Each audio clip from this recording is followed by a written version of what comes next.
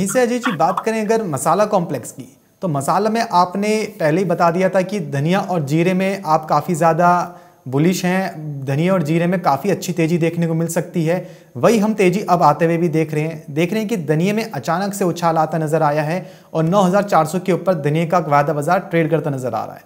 आपको यहाँ से क्या लगता है? क्या यहाँ से अभी मसालों में जो तेज़ी है, क्या ये कॉन्टिन्यूस रहेगी? आ, बिल्कुल जैसा हमने उम्मीद की थी वैसा ही मार्केट में मूव होते हुए देखा है। टाइमिंग हमें लगता है कि मार्केट में तेज़ी का रुख ही है। जिस ढंग से इस बार क्रॉप की स्विंग में ड्रॉप है एक्सपोर्ट डिमांड धीरे धीरे इंप्रूव होते हुए दिखाई देने लग जाएगी। हम्म। तो ओवरऑल मुझे लगता है जैसे जीरे की बात करें ये हमें लगता है कि 22 से तेईस हज़ार तक का लेवल धनिया में अगर बात करें साढ़े बारह से तेरह हज़ार तक का लेवल देखने मिल जाएगा। तो ओवरऑल हमें लगता है मसालों के अंदर ये साल काफ़ी मजबूती रहेगी जो कंटिन्यू चलनी चाहिए। जी। अजय जी, हमने जीरे में भी कल को सत्रह हज़ार का लेवल टच होते हुए देखा था। सत्रह हज़ार, और इस वक्त भी देख रहे हैं कि जीरा सोलह हज़ार नौ सौ पर ट्रेड करता नज़र आ रहा है। जनवरी वायदा, और सत्रह हज़ार एक सौ पच्चीस का भी हाई लगा चुका है। आपको क्या लगता है, क्या जीरे में भी यहाँ से अभी और उछाल देखने को मिल सकता है अभी जनवरी के अंदर?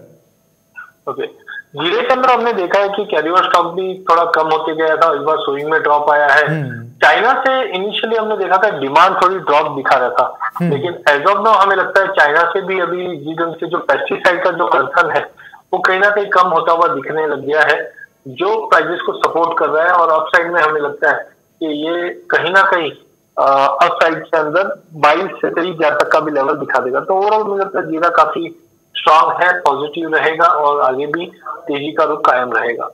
जी।